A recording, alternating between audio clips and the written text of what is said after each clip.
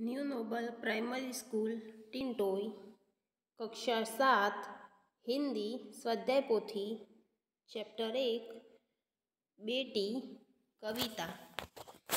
कविता का सरल अर्थ।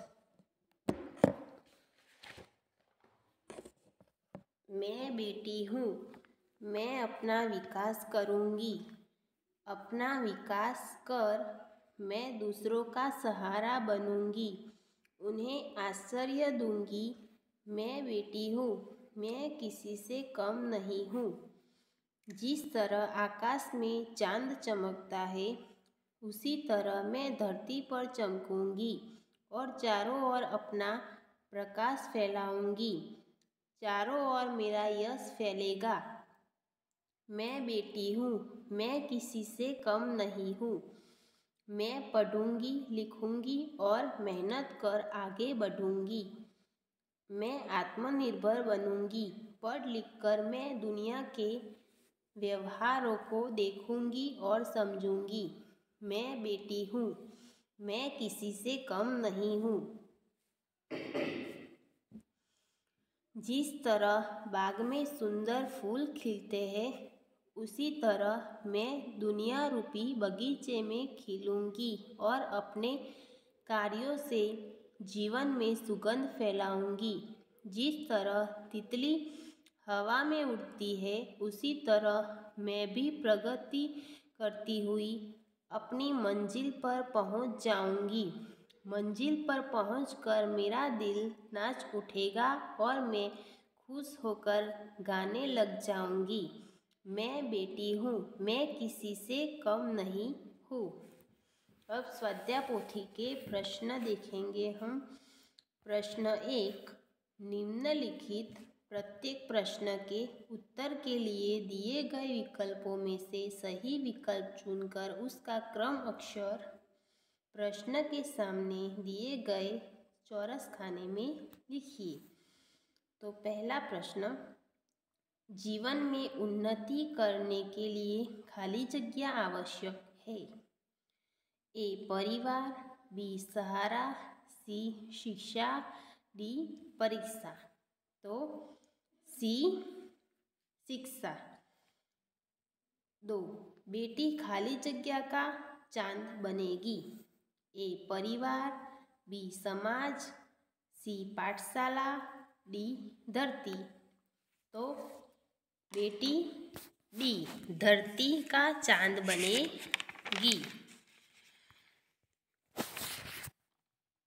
प्रश्न दो।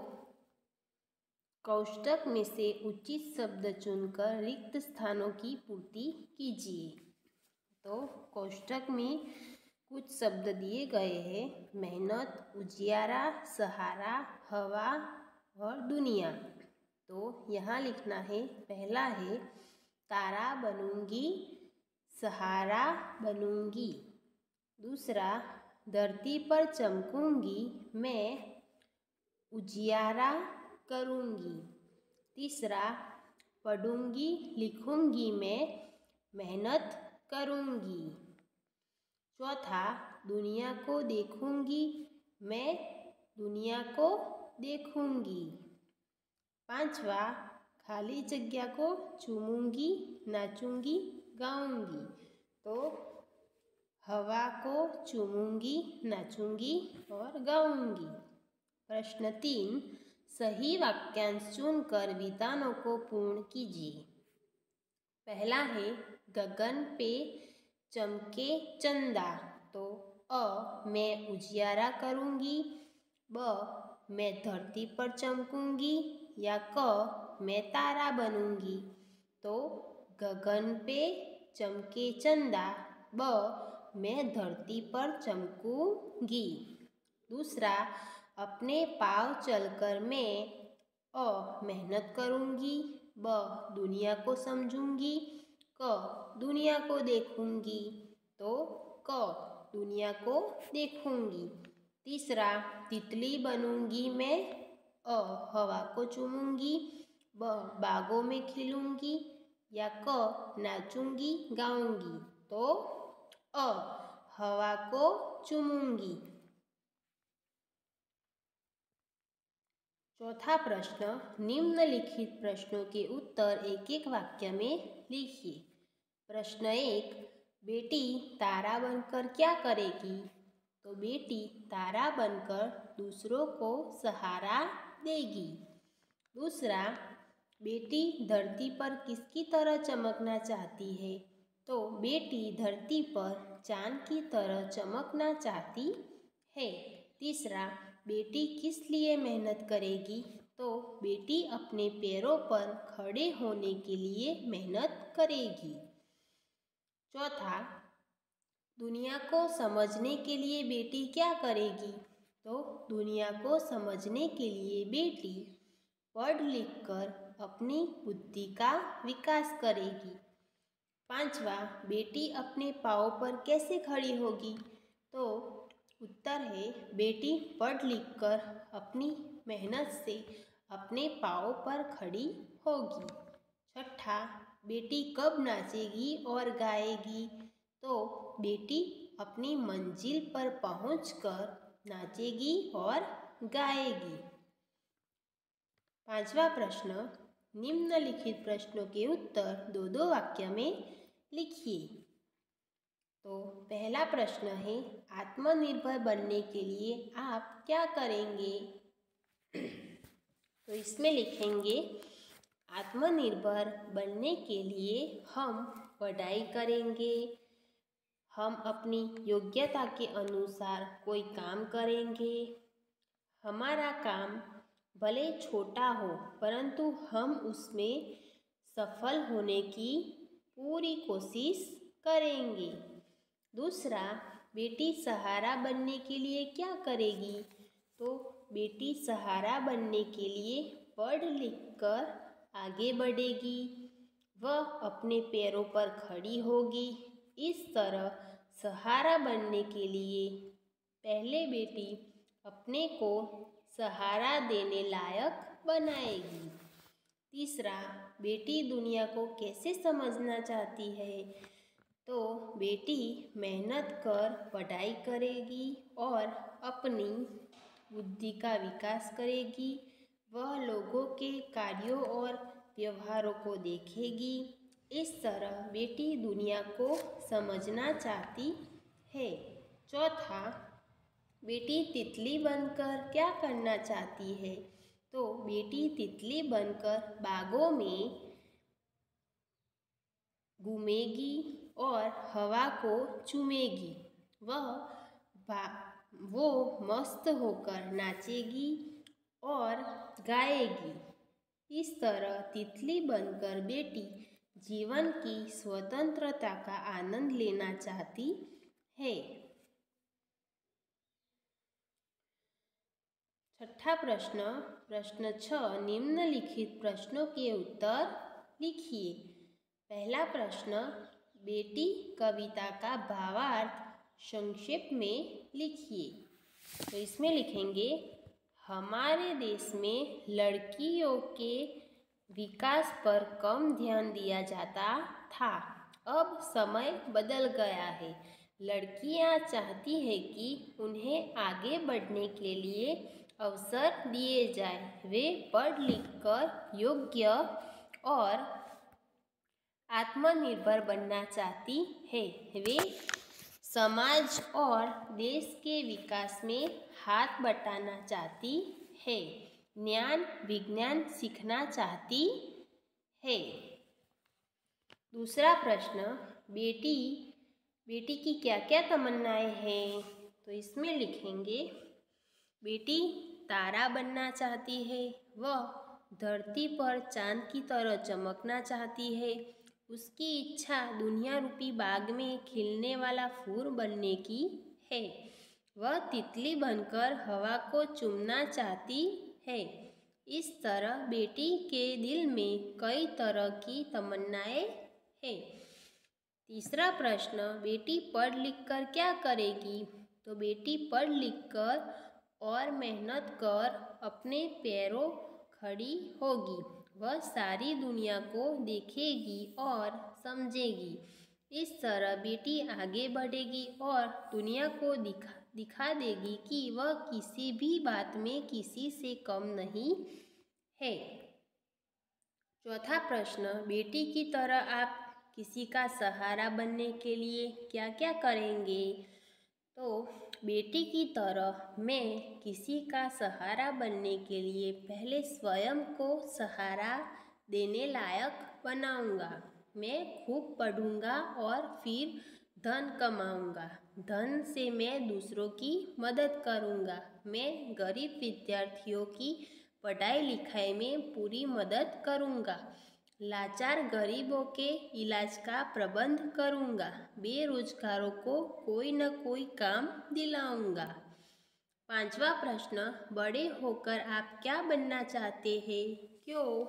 तो इसमें आप खुद भी लिख सकते हैं कि आप क्या बनना चाहते हैं और क्यों। तो हम लिखेंगे, बड़ा होकर मैं अपंगों का डॉक्टर बनना चाहता हूँ। मैं देखता हूँ कि तरह तरह की दुर्घटनाओं के कारण देश में अपंगों की संख्या बढ़ती जा रही है। लाचार अपंग अपना ठीक से इलाज भी नहीं करा सकते। बहुत से अपंगों को भी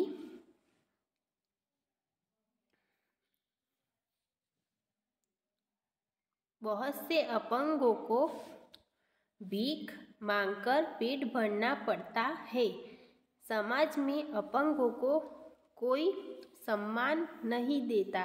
वे बेचारे आंसुओं के घुट पी पीकर जीते हैं। मेरा प्रयत्न होगा कि अपंगों की अपंगता मिट जाए और वे भी अपने बल पर जी सके। छठा प्रश्न। आप जीवन में क्या करना चाहते हैं? तो आप जीवन में क्या करना चाहते हैं? यह यहाँ पर लिखना है। तो मैं जीवन में समाज और देश की सेवा करना चाहता हूँ।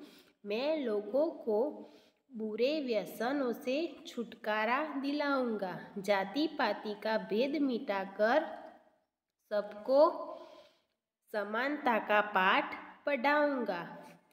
देश में बढ़ रही बेईमानी और भ्रष्टाचार मिटाऊँगा। मैं एक आदर्श समाज का निर्माण करना चाहता हूँ। मैं अपने देश की जनता को सुखी बनाना चाहता हूँ।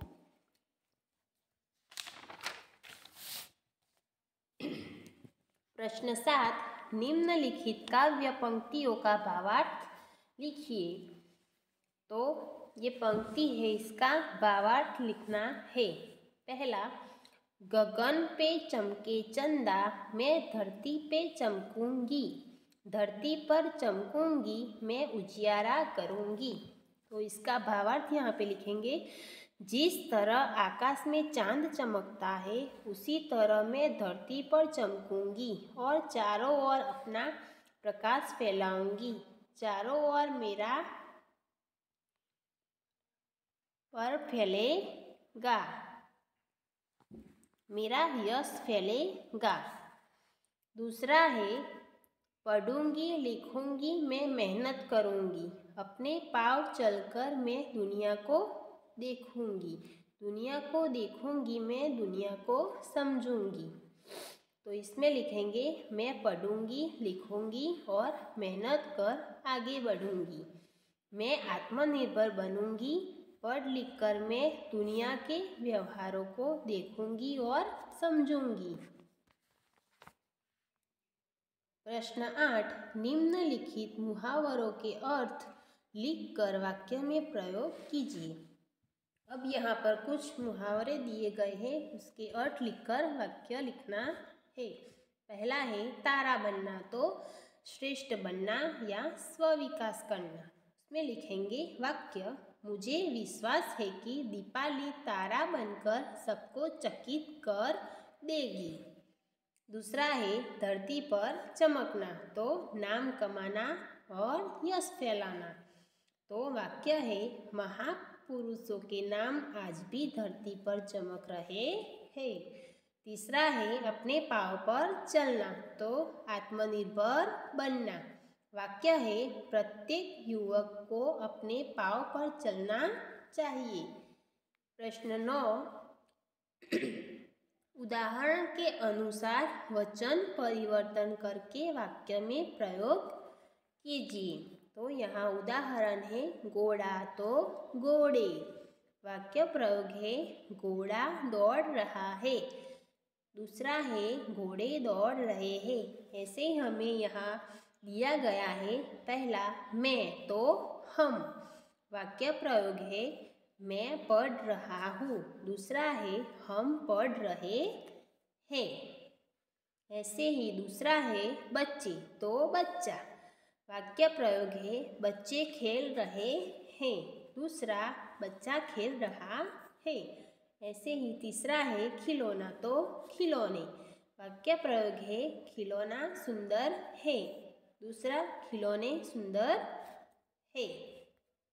चौथा है खेत तो खेतों।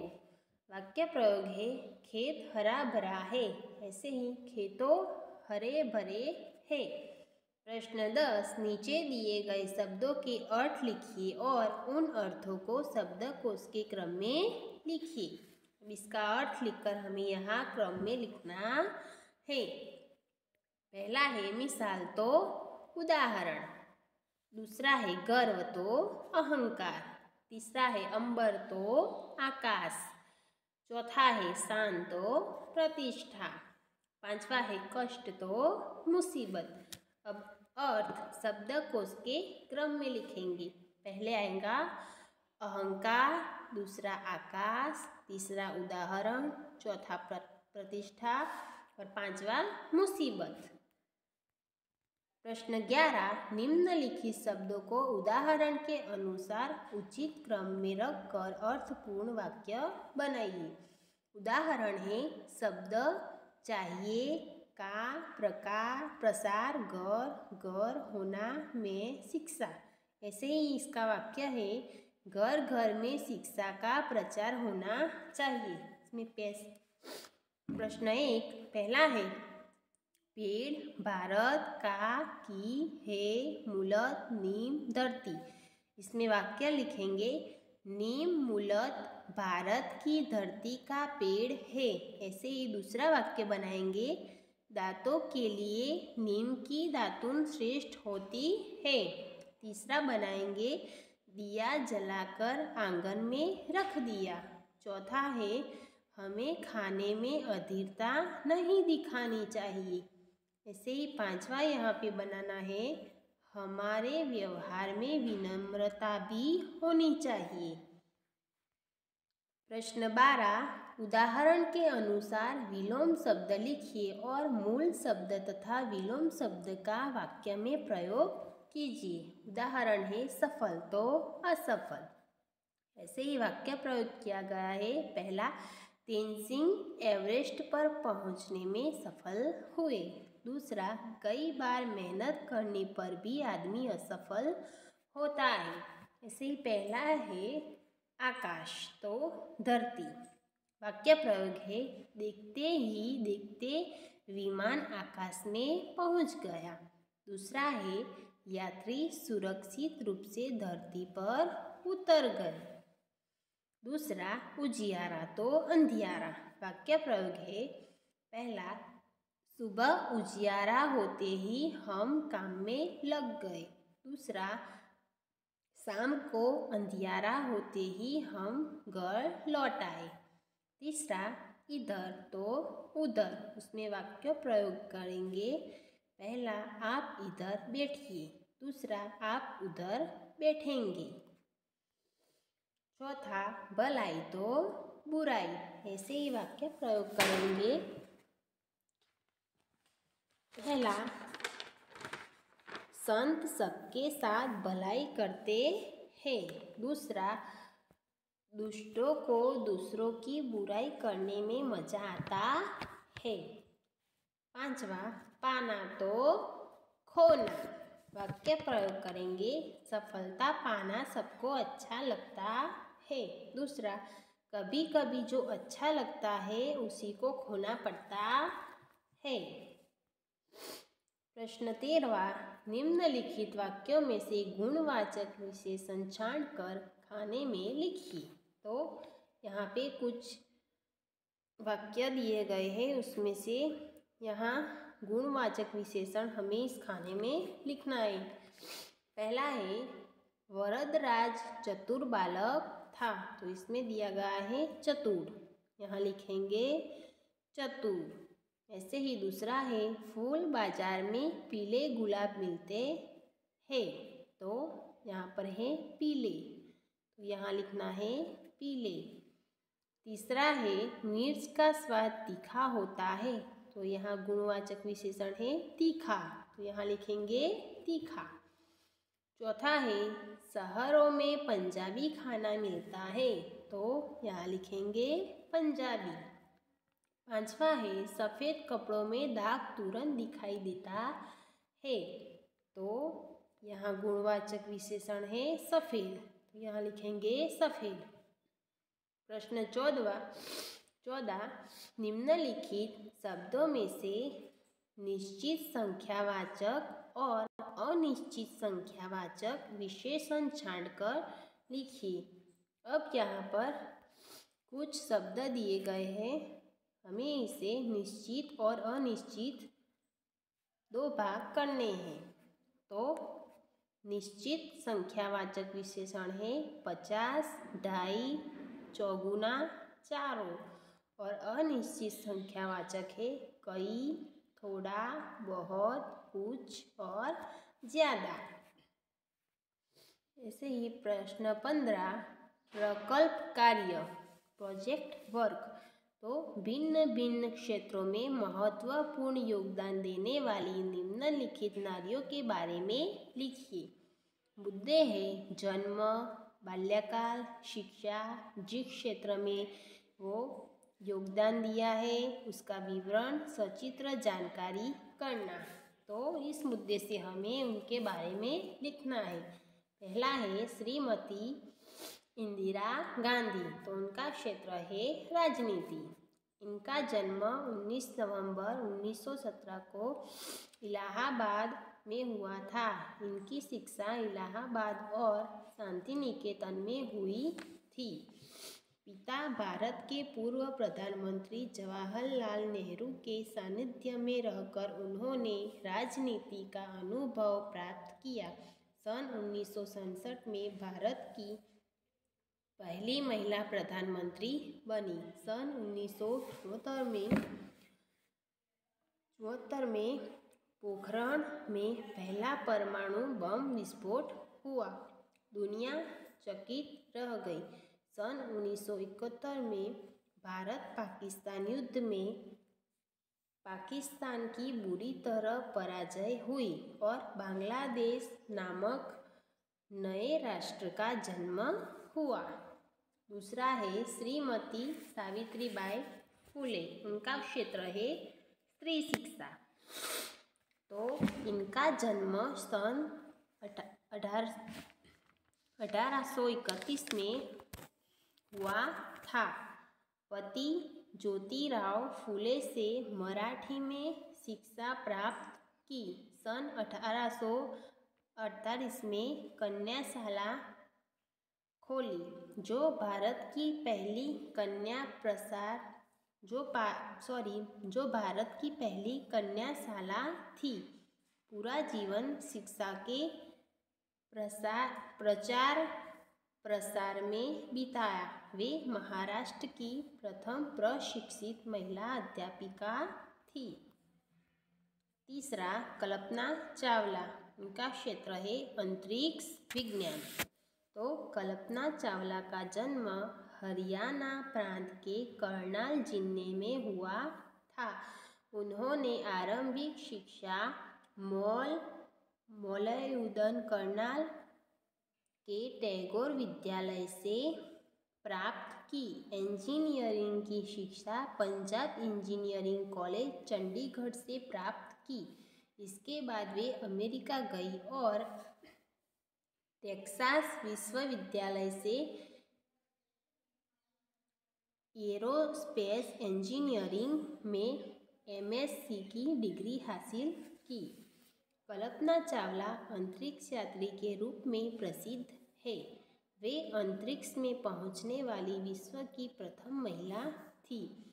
फरवरी 2003 को उनका अंतरिक्ष यान धरती पर लौट रहा था।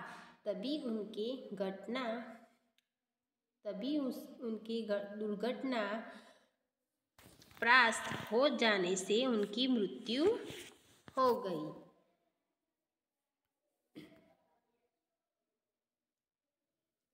चौथा है, मैडम क्यूरी। उनका क्षेत्र है भौतिक विज्ञान। मैडम क्यूरी का जन्म सात नवंबर अठारह सौ सड़सठ को पोलैंड के वारसा शहर में हुआ था। हाईस्कूल तक की शिक्षा वारसा में ही प्राप्त की। विज्ञान का उच्च अध्ययन पेरिस में किया। उन्हें यूरेनियस की खोज के लिए सन 1935 में नोबल पुरस्कार मिला। पांचवा है सरोजिनी नायडू। उनका क्षेत्र है साहित्य। सरोजिनी नायडू का जन्म तेरह फरवरी उन्नीस सौ को दक्षिण भारत के हैदराबाद नगर में हुआ। पिता अघोरनाथ चट्टोपाध्याय निज़ाम राज्य के शिक्षा विभाग में उच्च अधिकारी थे।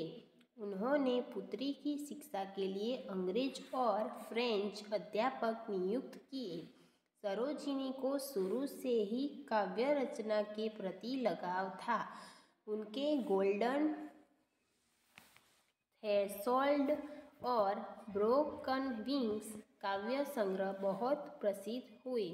अपने मधुर कंठ के कारण उन्हें भारत को किला कहा जाता है। उन्होंने स्वतंत्रता आंदोलन में सक्रिय भूमिका अदा की। अब यहाँ पर प्रवृत्तियाँ हैं। पहला है, बेटा बेटी एक समान इस विषय पर अपने विचार व्यक्त कीजिए। तो बेटा बेटी एक समान उस पर हमें कुछ लिखना है। इसमें लिखेंगे, बेटा और बेटी दोनों एक ही माता पिता की संतानें होती है। इसीलिए माता पिता का स्वाभाविक प्रेम दोनों के प्रति समान होना चाहिए, परंतु लड़की पराया धन होती है। इस मान्यता के अनुसार पहले लड़कियों की शिक्षा की उपेक्षा की जाती थी। बेटों को पढ़ाया जाता था। आज समय बदल गया है। वर्तमान में ऐसा कोई क्षेत्र नहीं जिसमें महिलाएँ काम न कर रही है। इस प्रकार आज बेटा बेटी में अंतर नहीं रह गया है। दोनों को समान मानना ही आवश्यक है। दूसरा है, बेटी के प्रति माँ का प्रेम प्रकट करने वाली कुछ काव्य पंक्तियाँ खोजकर लिखिए तो कुछ पंक्तियाँ हमें कैसे आपने सुनी हो तो वो लिखनी है। पहली है, वह मेरी गोदी की शोभा सुख सुहाग की है लाली। शाही शान भिखारिन की है मनोकामना मतवाली। दूसरा, दीप सिखा है अंधकार की, धनी घटा की उजियाली। उषा है यह कमल भूमि की, है पतझड़ की हरियाली। तीसरा है सुधाधार, यह नीरस दिल की मस्ती मगन तपस्विनी। जीवन ज्योति नष्ट नयनों की सच्ची लगन मनस्वी की। चौथा है मेरा मंदिर, मेरी मस्जिद काबा काशी यह मेरी। पूजा पाठ, ध्यान ध्यान जप तप है। घर घर बासी यह मेरी। तीसरा है, अपनी छोटी बहन के स्वभाव के बारे में पाँच पंक्तियाँ लिखिए। तो आपकी कोई छोटी बहन हो तो उसके स्वभाव के बारे में हमें पाँच पंक्तियाँ यहाँ पे लिखनी है। आपको जो भी लिखना हो आप लिख सकते हैं। हम लिखेंगे, मेरे लिए तो मेरे लिए तो तू है जैसे भगवान का एक उपहार। बहना यूँ ही बना रहे तेरा मेरा प्यार। रूठ जाए तो गुड़िया लगती, डांटे तो लगती माँ। मेरी हर एक बात में रखती तू है, मिलाकर हाथ।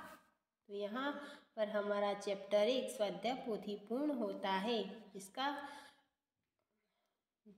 स्वाध्याय आप सबको नोट में लिखना है। Thank you.